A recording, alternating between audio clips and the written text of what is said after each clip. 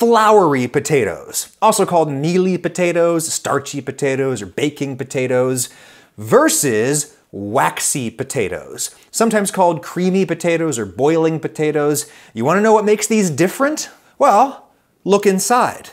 I mean, not in here, uh, here. This is a floury potato when raw. These are the individual cells, those are the cell walls there, and inside you see the individual starch granules. Each granule contains millions of starch molecules, and each molecule contains like thousands of individual sugars, glucose units.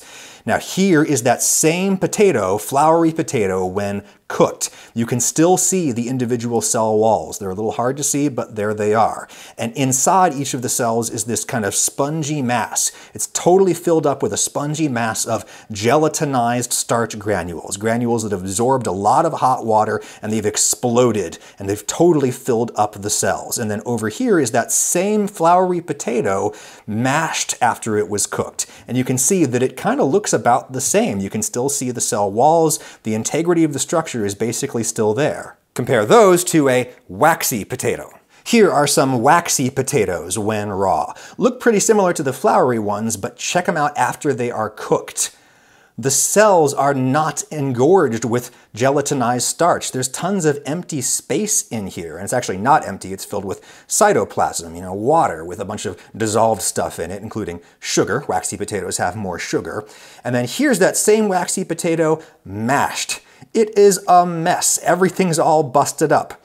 These microscopic photos are from a 1994 paper out of Iowa State University. It's an oldie but a goodie. And having seen these photos, I think I finally now understand both extremes of potato are great. Both can be used to make just about any potato dish that you could think of. The differences aren't that big, but there are real differences that make some of them better for some things than others. I usually call these floury potatoes because I feel like mealy is an unflattering description. These have more starch. They're usually 20 to 22% starch by weight. Waxy potatoes have less starch. They're generally 16 to 18% starch, and the mass they lack in starch is instead mostly water. They're less starchy, more watery.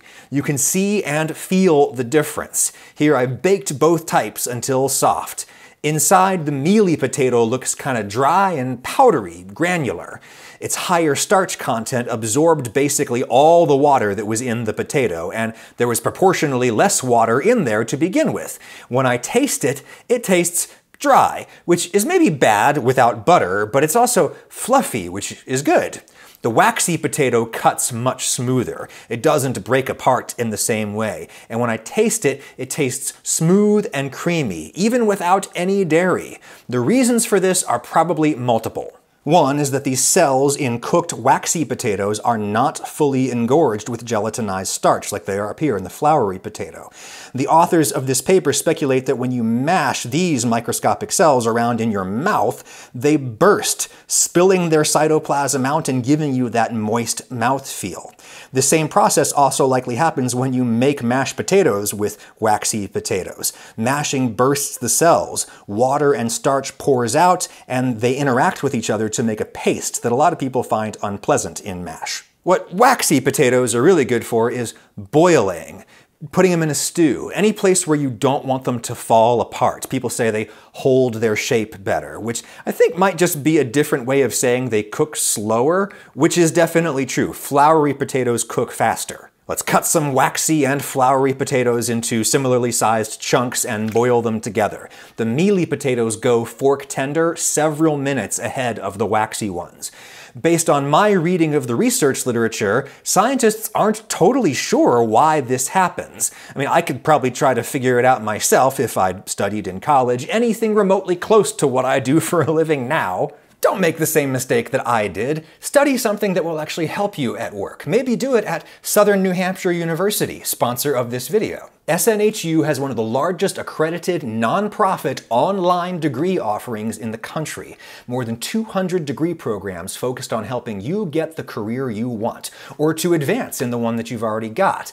Like, check out SNHU's social media marketing degree, where you learn how to engage consumers, build loyalty, and drive business on social media, otherwise known as the place where the customers actually are these days. If you want an indication of how forward thinking SNHU is with their marketing, well, ask yourself this. How many other like real nonprofit universities are out here doing ads with people like me, influencers?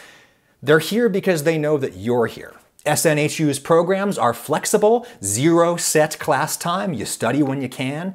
If you started college and you never finished, well, you can transfer up to 90 credits so you don't have to start over. Their online tuition rates are some of the lowest in the nation, so if you're ready to make a change, maybe study social media marketing, game programming, they've got all kinds of programs. Do you and me both a favor and follow my link in the description, snhu.edu slash Adam. Anyway, floury potatoes soften faster than the waxy ones when they cook. The reasons are probably multifactorial. The extra starch in the floury potato swells up bigger, and that maybe stresses the internal structure of the potato. All the cells are kind of exploding away from each other. Yes, floury potatoes have more starch, but it's also a different composition of starch. The waxy potatoes are almost entirely amylopectin, which is the big branched chain of glucose that makes up a starch.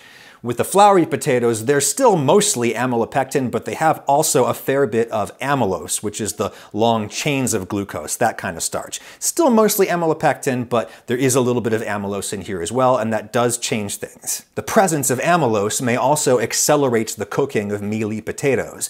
Amylose requires a higher temperature to gelatinize with the water, but a lower temperature to solubilize, which is what happens next. They break away from the granule and everything starts to fall apart apart. And there are other components of potatoes that might explain why mealy potatoes cook faster. There's these studies out of the Netherlands where they looked at pectic substances that dissolve into the water when potatoes are boiled. Pectins help hold the whole potato together. The Dutch found that different amounts and different types of pectin dissolve out of mealy potatoes versus floury potatoes, so that could be relevant too. But there's another big and highly relevant difference between these two. Waxy potatoes have more water, and that makes them bad for frying. You can see it if I fry these parboiled potatoes in a little bit of oil. They brown at comparable rates. Maybe the waxy one browns a little faster owing to its higher sugar content, but you can plainly see the mealy one is cooking faster internally. Look at the skin separating there. Water slows down cooking, and the waxy potato has more water. To get a waxy potato soft and fluffy and dry on the inside, we would have to fry it for longer, by which point the outside would probably probably be burned. This is why french fries made with waxy potatoes are usually either overdone on the outside or they're underdone on the inside. They're wet on the inside, soggy. In the case of french fries, yeah, definitely floury potatoes are what you want. But are floury potatoes better for mash? Some people say they are. They certainly soften up faster in the boiling water. There's reason to believe floury potatoes may integrate better with the butter, too, because floury potatoes have more amylose, and amylose forms bonds with lipids, complexes. But I don't think I like the mealy texture, that granular texture the mash has on the tongue. This is where mealy potatoes get their name. But what actually is that granularity that we perceive on our tongue? Well, again, this awesome old paper from Iowa may show us the difference. This is the cooked mealy potato, it's a russet. The rest of these are cooked waxier potatoes. And look at the lamella. That is the membrane between these two cells that kind of connects them together. It's the adjoining membrane between these two cells. The lamella here in the russet, the mealy potato, this is thicker and way more solid. And what you can't see from the picture is that it's also more polarized. The cells are more polarized, electrically charged. The authors here attribute this to a higher concentration of calcium and magnesium ions in mealy potatoes. The result is cells that are more likely to stick to each other. So while the whole potato seems seems to soften faster, the individual cells on a microscopic level are actually more solid, less likely to burst and spill their starch out, and they also clump up with each other, maybe because of that charge. You can plainly see that clumping even with this very weak microscope. Super starchy, fully engorged cells clumping together. That is probably the grain that you feel in your mouth. That is the meal. And not everybody dislikes it. There's another word that we have to describe big grains of something that are all kind of separate and not bound together by external water. What is it? Fluffy. That's what the word fluffy means. Fluffy mash. People like it. The alternative is creamy mash, produced from waxy potatoes. However, such mash does tend to go gluey for reasons previously discussed. The cells burst, starch and water fall out. You can, of course, get the best of both worlds by combining waxy and mealy potatoes in a single mash, and that is exactly what I usually do. But I want to emphasize that a potato is just a potato. The differences between them really aren't that big. You can make good food with either one, so just cook whichever kind of potato you have.